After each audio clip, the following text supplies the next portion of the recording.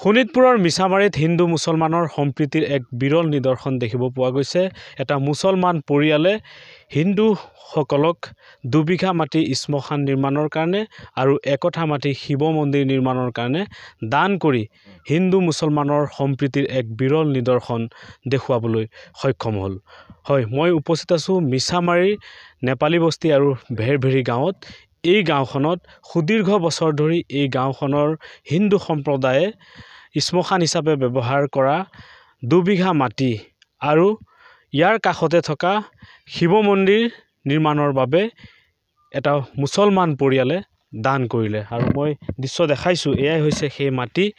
ওঠৰ বিঘা মাটিৰ পৰা দুবিঘা মাটি শ্মশান নিৰ্মাণৰ বাবে হিন্দুসকলক আৰু শিৱ মন্দিৰ নিৰ্মাণৰ বাবে এটা পৰিয়ালে দান কৰিলে এই মিছামাৰীৰ ভেৰভেৰী আৰু নেপালী বস্তি গাঁৱৰ হিন্দু সম্প্ৰদায়ৰ ৰাইজৰ বাবে। আৰু এয়াই হৈছে গোলাম বছিৰ আনচাৰী সেইগৰাকী মুছলমান ব্যক্তি আৰু এই পৰিয়ালটোৱে এই মহানুভৱতা দেখুৱাবলৈ সক্ষম হৈছে যি সময়ত দেখা গৈছে ঠায়ে ঠায়ে হিন্দু মুছলমানৰ নামত বিভিন্ন ধৰণৰ সংঘাত। তেনে সময়তেই শোণিতপুৰ জিলাৰ মিছামাৰীৰ ভেৰভেৰী আৰু নেপালী বস্তি গাঁৱত যি ৰঙাপৰাৰ এইগৰাকী ব্যক্তি বছিৰ আনচাৰী তেখেতে এনেধৰণে দুবিঘা মাটি হিন্দুসকলক শ্মশান নিৰ্মাণৰ বাবে আৰু একঠা মাটি শিৱ মন্দিৰ নিৰ্মাণৰ বাবে দান কৰি মহান নিদৰ্শন দাঙি ধৰিলে। দাদা আপোনাৰ নামটো কি? মোৰ নাম চাৰ্টিফিকেট মতে মহম্মদ গোলাম বাছিৰ আনচাৰী কি ক'ব? আপুনি যি সময়ত হিন্দু মুছলমানৰ এটা সংঘাত ঠায়ে ঠায়ে দেখিব পোৱা যায় তেনে সময়তে আপুনি এটা মহান নিদৰ্শন দাঙি ধৰিলে আজি। কি ক'ব? এইটো আচলতে মোৰ দেউতা কালৰ পৰা এই বস্তুটো তেখেতেই মানে ফাইচলা কৰি গৈছিলে। যে ৰাইজৰ লগত সহমতিক্ৰমে মিটিং কৰি পেলাই যে আমাক তেওঁলোকে ডিমাণ্ড দিছিলে যে আমাক এক এক বিঘা মাটি দিয়ক হেৰি শ্মশান ঘাটৰ কাৰণে অৰ্থাৎ মৰাশালীৰ কাৰণে।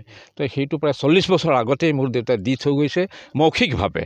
কিন্তু বৰ্তমান আজিৰ তাৰিখত আমি ৰাইজ আৰু আমি হেৰি মাটি মালিকসকলে মিলিত হৈ পেলাই এইটো সিদ্ধান্ত লোৱা হ'ল আৰু এইটো কাগজে কলমে লিপিবদ্ধ কৰা হ'ল যে তেওঁলোকক আমি বুজাই দিলোঁ অলৰেডি বুজাই দিলোঁ? দুই বিঘা মৰাশালীৰ কাৰণে আৰু এক কঠা মাটি শিৱ মন্দিৰৰ কাৰণে আমি দান প্ৰদান কৰিলোঁ। আৰু এইটো পোন্ধৰ দিনৰ ভিতৰত আমি এইটো কাগজে কলমে অৰ্থাৎ ৰেজিষ্ট্ৰি কৰি দিম ডি চিৰ পাৰ্মিশ্যন সহমতিক্ৰমে এইটো আমি লেখা লিখি কৰি দিম। আমাৰ পৰিয়ালবৰ্গ যিসকল আছে মই এইটো দায়িত্ব যে মই লৈ পেলাই ঠেলামাৰা বা ঢেকীয়াজুলি চাৰ্কুলত গৈ পেলাই এইটো লিখা লিখি আমি মেজিষ্ট্ৰেটৰ আগত কৰি দিম। আজি আপোনাৰ কেনেকুৱা মনোভাৱ? নাই আজি আজি আজিৰ তাৰিখত খুবেই ভাল লাগিছে। আমাৰ আমাৰ বংশ বা আমাৰ পৰিয়ালৰ মুৰব্বী আব্দুল জব্বাৰ আনচাৰী আৰু মোৰ ভাতিজা দুজন আমিৰুদ্দিন আৰু চাহাবুদ্দিন আমি খুবেই সুখী হৈছোঁ যে ৰাইজে আনন্দিত হৈছে গতিকে আমিও আনন্দিত হৈছোঁ।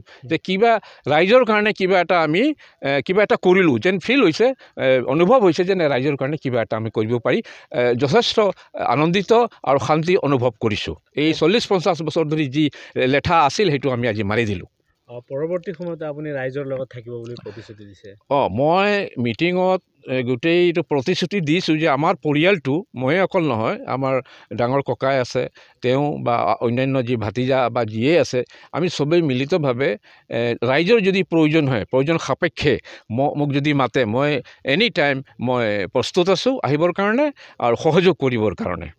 হয় নিশ্চয়কৈ এয়াই হৈছে মানৱতা আৰু আজি সেই নিদৰ্শন দেখুৱালে এই আনচাৰী পৰিয়ালে। মই ৰাইজৰ প্ৰতিনিধি আছে ৰাইজৰ প্ৰতিনিধিৰ সৈতে কথা পাতিম। কি ক'ব? হয় আজি ভাদ মাহৰ এক তাৰিখ আজি পবিত্ৰ দিনত গুৰু দুজনাৰ যি জন্ম মাহ এই জন্ম মাহৰ আজি প্ৰথম দিনটোতে মহান কাম এটা ৰূপায়ণ হ'ল বুলি আমি অনুভৱ কৰিছোঁ।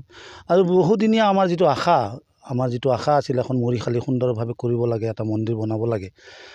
অস্থায়ীভাৱে আমি ইমান দিনে কৰি আহিছিলোঁ। আজি পঞ্চাছ বছৰ ধৰি আমি ইয়াত দাহ কৰি আহিছোঁ আচলতে বেআইনী হিচাপে। কিন্তু আজি আইনীভাৱে তেখেতসকলে আজি ৰাইজক দান কৰিলে ভেৰভেৰী আৰু নেপালী বস্তিৰ ৰাইজক। এটা মহান কাম কৰিলে। এই চাগতে পৰিয়ালটোক আমি ধন্যবাদ জনাইছোঁ দুয়োখন গাঁৱে। আৰু যিখিনি সময়ত বিভিন্ন জেগাত হিন্দু মুছলমানৰ সংঘাত হৈছে সেইখিনি সময়ত শংকৰ আজানৰ দেশতহে এনেকুৱা এটা সম্ভৱ হ'ব বুলি আমি অনুভৱ কৰোঁ যে অসমৰ এই শোণিতপুৰৰ এই এটা পিছপৰা অঞ্চলৰ ৰাইজে আজি নিদৰ্শন দাং দাঙি ধৰিলে এটা পৰিয়ালে যে আছিলে আচলতে আমি হিন্দু মুছলমানৰ কোনো কথা নাই মন মানৱতা। মানৱতাক আগবঢ়াই আনি আজি যি ডাঙৰ কাম কৰে তাৰ বাবে আমি ধন্যবাদ জনাইছোঁ পৰিয়ালটোক। তেখেতসকলৰ প্ৰত্যেকগৰাকী ব্যক্তি কুশলে থাকক তাকে ভগৱানৰ ওচৰত প্ৰাৰ্থনা জনাইছোঁ। নিশ্চয়কৈ এয়াই হৈছে মানৱতা আৰু সেই কাম আজি কৰিলে এই আনচাৰী পৰিয়ালে। দুবিঘা মাটি শ্মশান নিৰ্মাণৰ বাবে আৰু এক কঠা মাটি শিৱ মন্দিৰ নিৰ্মাণৰ বাবে হিন্দু সম্প্ৰদায়ক দান কৰি তেওঁ এটাই কথা আজি দাঙি ধৰিলে যে প্ৰথম আচলতে মানৱতা তাৰপিছতহে জাতি। সম্প্ৰদায়ৰ মাজত কোনো ধৰণৰ ভেদাভেদ নাই। সেই কথাই আজি প্ৰমাণ কৰিলে এই আনচাৰী পৰিয়ালে।